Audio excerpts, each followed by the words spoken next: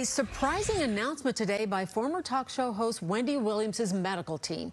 They say she has been diagnosed with a form of dementia, a progressive disorder that has already presented significant hurdles in her life. Joining us now to discuss and explain further is Dr. Ganjuri. She is an assistant professor in geriatrics and palliative care at Rush. Thanks for joining us for this important conversation. A lot of questions out there about this. Hi, thank you for having me. So Wendy Williams is only 59, uh, not an age most of us would think of someone with dementia. Uh, tell us what her condition is called and explain exactly what it is. Absolutely. So uh, this is primary progressive aphasia, which is a subvariant of something called frontotemporal dementia, which actually does affect younger people, um, usually under age 65. And um, the frontotemporal dementia has a couple of different variants. Um, primary progressive aphasia is uh, comprises about two out of three of those. Um, basically, it's an early loss of language and speech. Um, it can be language in different forms, whether it's um, speaking, understanding, word uh, finding, sentence structure, um, word comprehension. And it happens pretty early in life. Uh, as you mentioned, you know, other types of dementia happen later. Um, this is one that happens uh, much earlier and can be uh, pretty progressive pretty quickly.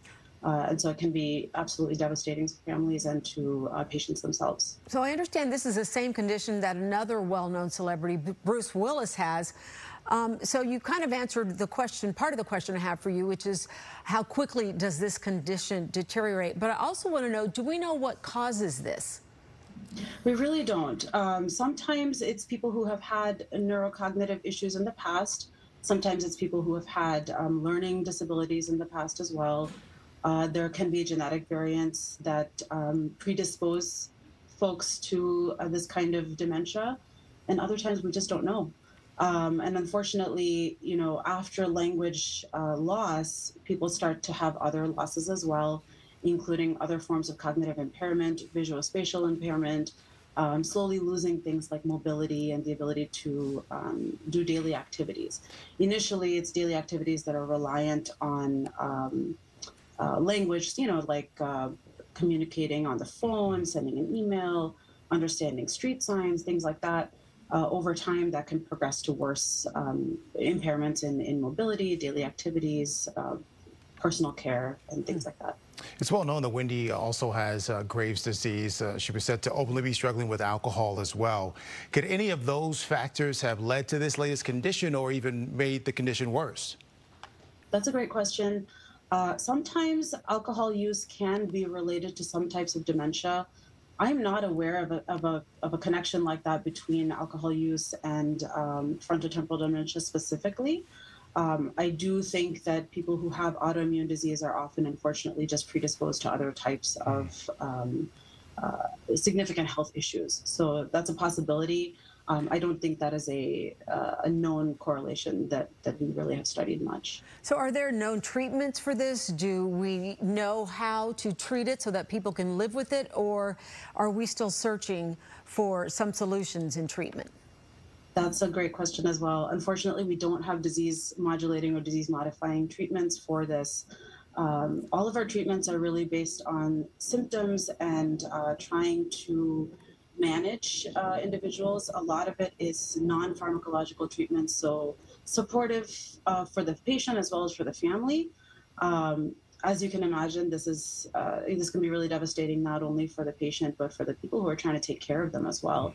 And so, things that uh, can modify behavior, things that can um, help uh, kind of corral some of the behavior, some of the personality changes, um, mobility support like physical therapy, um, cognitive behavioral therapy, um, addressing mood disorders like anxiety and depression. All of those things can be helpful uh, unfortunately, they don't change the underlying disease process. Any clear signs for loved ones out there to watch for and their other relatives? I know it's not always easy to have that conversation with someone, uh, but any advice for loved ones maybe concerned their loved one might have this?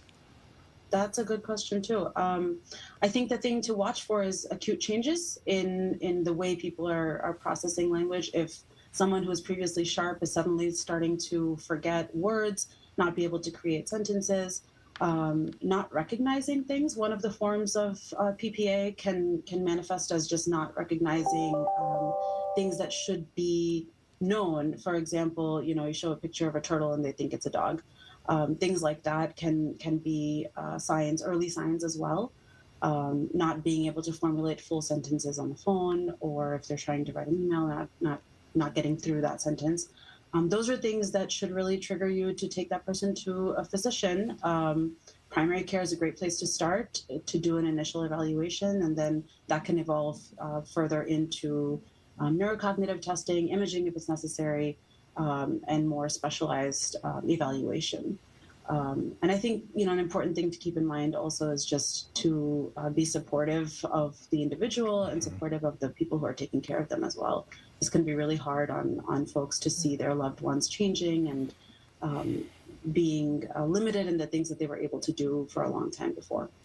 Doctor, thank you so much for joining us and bringing your perspective and educating us on what sounds like an important thing people need to know about. We appreciate your time. Thank you so much for having me. All right. Let's take a